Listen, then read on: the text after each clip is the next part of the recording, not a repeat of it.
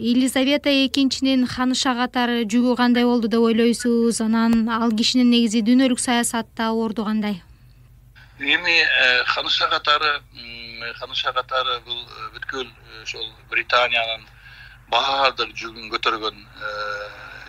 номер биринчи фигура да аристократка номер биринчи. Бирок ал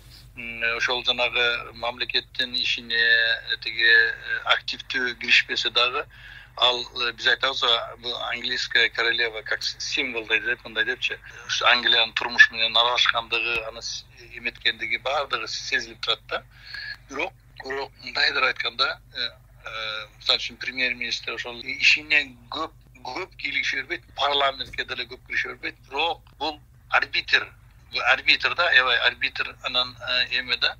бул ошол нерсенин биз айтабыз биздин үстүбүздө кудай бар дейбиз да кудай бар дейбиз да булар айтат биздин үстүбүздө королева бар королевадан кийин кудай бар депчи ошонусу кандай ошо между богом кудай менен эменин ортосундагы адамдай символдой көрсөтөт да мындай ыйык түшүнүктө көрсөтөт да потому что бул бул алардын маданиятына канына сиңип калган бул жерде культ личность эмес таптакыр башка личность эмес бул ушул англичандардын ошол элдин ушул королевага болгон урматы сыйы потому что ал урмат менен сыйдын ичинде потому что англиянын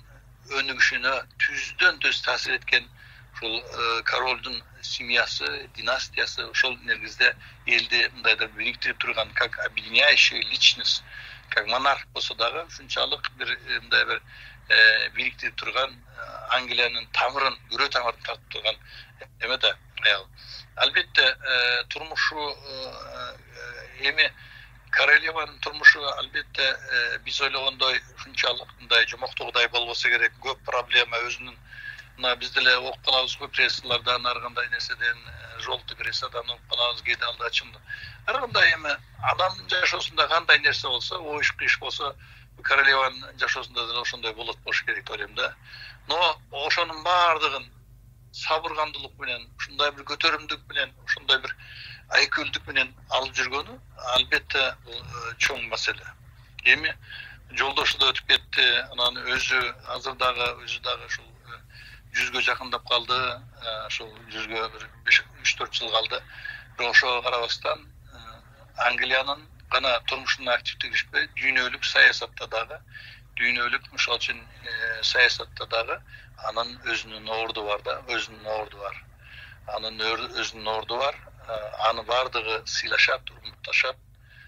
ошол учурда деле баалашат да сиз өзүңүз айткандай элчилер барып өзүнчө аудиенцияда болушу мүмкүн бирок сиздер мындай өз жолуңуз менен барып жолуккандардан биринчи болдуңуз да жол салдыңыз анан ошол ошол жерде лондондо болдум анан эртеси ошол саат төрттө айтылган убакытта биз ошол жака бардык да элчиликтин эмелери менен бардык анан барганда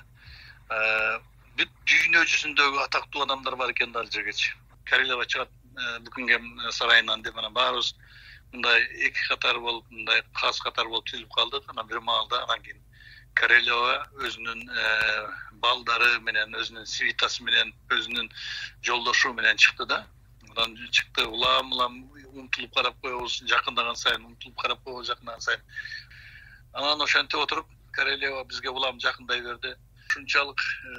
сүрүү бар бекен мен ушунчалык сүрүүн байкаган жокмун ушунчалык ушундай бир энелик аялдык ушундай бир өзүнүн аристократиясын көрсөткөн ушундай бир эме ушундай ар бир адамга ар бир сүйлөшкөн адамга ушунчалык эме менен тиги мээрим менен сүйүү менен ушунчалык бир ушунчалык эме каратканда действительно королева деген ушу анака ушул королеванын үлгүсү катары бекеринен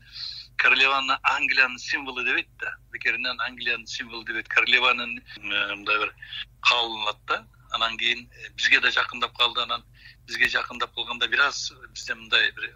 жети сегиз метр нары. Балдар турду эле кичинекей балдарчы турган болчу анан алар алар оорулуу балдар экен оорулуу балдар экен ошолор оорулубадан төрт баланы да чакырыптыр да эме кылыптыр королева өзүнүн ошол эмесине чакырыптыр анан аларга ушунчалык ийилип